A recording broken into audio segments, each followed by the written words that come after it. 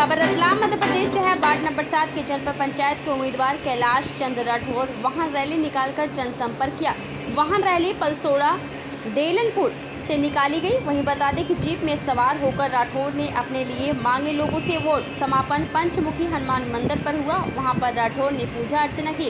राठौर ने बताया कि तीनों गाँव के विकास और उन्नति हो यह मेरा संकल्प है।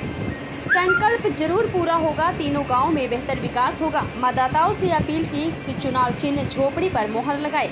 एक बार फिर उबरू करा दिए पूरी खबर। रतलाम की बताई जा रही है, वार्ड नंबर सात, पंचायत के उम्मीदवार कैलाश चंद्र राठौर। वाहन रैली निकालकर किया जनसंपर्क। टाइम बिग न्यूज़ चैनल के लिए हरीश व्यास, रतलाम, मध्य प्रदेश।